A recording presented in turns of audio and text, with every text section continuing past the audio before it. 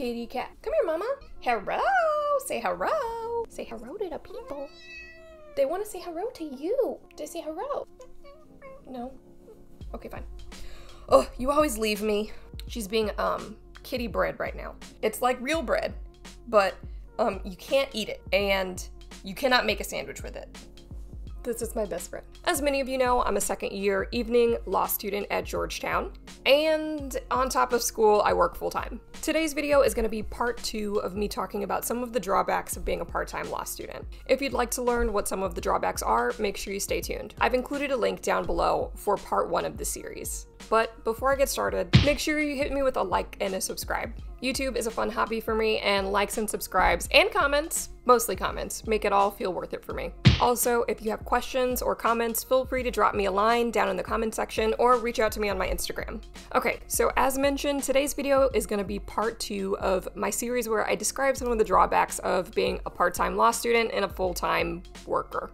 In today's video, I'll be talking about drawbacks including internships, summer associateships, and clerkships, pressure to quit your job, competition, and maintaining a social life slash networking while you're in school. So let's start with the juicy bit, which is internships, summer associateships, and federal clerkships, or just clerkships generally. They don't have to be federal. I'll start by saying these are some of the biggest and most important job opportunities that you'll get and have access to as a law student. Ultimately, most people go to law school to get a job afterwards, right? And not just any job but a particularly well paying job in the legal field. While I'm just a second year student and I haven't explored all of these opportunities quite yet, I have faced some setbacks so far. And I'm going to talk about what some of those setbacks have been and why they're really logistically difficult for part time students who work full time to accommodate. One of the opportunities that 1L students typically pursue after their first year of law school is a summer associateship or as an intern.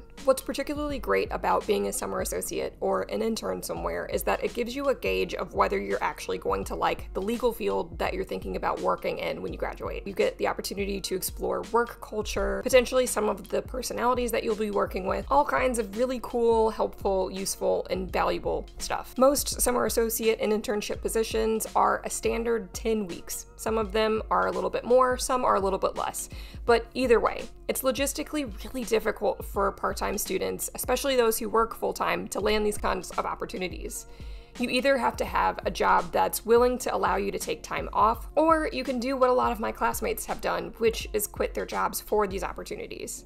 As many of us who have jobs know, finding a job that's going to be willing to let you take off 10 weeks or basically an entire summer to work somewhere else, those are pretty hard to come by especially if your full time job is one that pays you a livable wage and you're expected to work salaried hours or work a minimum of 40 hours a week.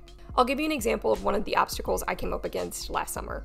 So, fortunately, I met my first criteria where my job was going to allow me to take unpaid leave off, which was amazing. I basically hit the jackpot. And I'd even found an opportunity where I'd be able to work as a public interest law intern at a government agency. But the problem with a lot of public interest internships is that they don't pay. And while the university had a stipend that they were willing to pay law students if they took a public interest internship, this actually wasn't an option that was available to students who worked full time. And the reason for that is because the university had a cap on the amount of money that a student could make throughout the summer. So while I was able to get the unpaid time off for my full time job and find an internship, and potentially find funding, the fact that I had a full time job knocked me out of consideration for even getting funding for my free internship. Mind you, that stipend wasn't even a lot of money. But it did remind me of just another way that the law profession and the law profession matriculation system and culture is not set up for part time students. It's not set up for people that have jobs in other fields. It's not really set up for people who decide to go to school part time. And that brings me to my next point, which is pressure to quit your job as a part time law student. As I mentioned, many law students who go to law school during the day do internships between their first and second year, or more importantly, during the summer between their second and their third year. So, when it comes to logistics, here's what the norm ends up being. Many part time students will do a summer associateship between their third year and their fourth year. And right before that summer associateship starts, they'll typically work their full time job all three years up until the summer of their third year. Well, they'll quit their job, take a summer associateship, and then go to class full time during their fourth year so that when they graduate, they can take the bar without having the pressure of full time work and then start a job at a law firm. But let's get into why that's extremely difficult. Here's the deal, and this is pretty obvious, but I'm a part time law student. Part of the reason why I'm a part time law student is because I can't afford to take out a literal assload of student loans just to attend school. I'm a first generation law student, and if I don't pay my bills, nobody's gonna pay them. If I could afford and thought it would be financially responsible for me to go to law school full time, believe me, I would do that. But I'm gonna be honest, just the idea of quitting my job and not working for a full year, that's horrifying. I've been working since I was 16 years old, and even now, and I don't know how I'm gonna approach that, but hopefully I'll figure it out. And in the same category as quitting your job, that brings me to my next point, which is competition with other students in your section or in your cohort. I don't know if they call it a cohort if it's law school. We just call it sections. I don't know, whatever.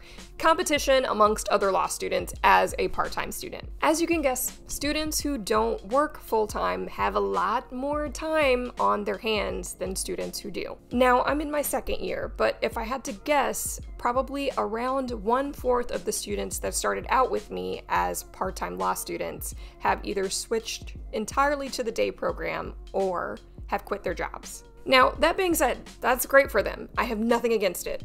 Also, full disclosure, my section mates are the most badass people, possibly on the face of the planet. But that being said, those students who started out as part time students and switched to full time still have class with students who are exclusively part time. These students inevitably have way more time and resources to focus on school than I will ever have. If those students also coincidentally perform a little better on an exam than I would, short of quitting my job, there's only so much that's within my control on that matter. Also, aside from my first year doctrinal classes, most of my classes are mixed in with day students and evening students, which means that I get curved against people with a whole wide range and different set of time responsibilities than what I have. While I will say time is not always an indicator of who's going to do better, but at the same time, it does give students who don't work full time a little bit of a competitive advantage. As a part time student, you can pretty much never slack off. Being tired pretty much never matters because there's always going to be someone in your class that has a lot more time than you and can afford to put 120% into those readings and those exams in a way that you might not have the spoons for. As a part time student, you can pretty much take no days off. You gotta bring it and you gotta have 200%. And that brings me to my last point, which is having a social life and networking. Now, I know I talked about there being a sense of competitiveness in law school. It's not a bad thing, it's something that's prevalent in pretty much every law school. The colleagues that you make and meet in law school are the most valuable part of law school. Hands down, full stop. And I don't say that lightly. Think about it. When you graduate from law school, who's gonna be the basis of your network in the legal field? Probably a lot of the people that you went to law school with, right? While I will say that my section of fellow evening students does all that we can to stay close knit and to support each other. But I will say that my interactions outside of that group, outside of my section of fellow evening students, is pretty limited. For example, a lot of the law school or law student networking events or networking events that are held by law firms and things like that are hosted by organizations or at times where people who work full time can't really attend. They'll usually happen during the day or during weekdays during work hours. Even in the event that they're not held during work hours, they're often also held at a time when evening students have class. So, in short, as a part time student, you don't get as much access to socialization as I would imagine a full time student would have access to. But that being said, I guess I can't say that definitively I've never lived life as a full time student. But anyway, that's pretty much all I got for today, and all I got for my major drawbacks of being a part time law student. I will say that despite all of these drawbacks, there are going to be drawbacks of everything that you do. There are drawbacks of being a full time student, there are drawbacks of everything. I just want to be transparent about some of the things that I've struggled with as someone who works full time and someone who goes to law school part time. But I will say that at the end of the day, part time law school is still the shit. Also, I forgot to mention this, but I wrote an article with ETS about five ways that the GRE helped me actualize my law school dream. For those of you who aren't familiar with ETS, they're the company that writes the GRE, which is the admissions test that I took instead of the LSAT to get into law school. If you want to read what those five things are, make sure you hit the link down in the description box below. That's all I got for today. Make sure you hit me with a like and a subscribe, and I'll see y'all in a couple of weeks.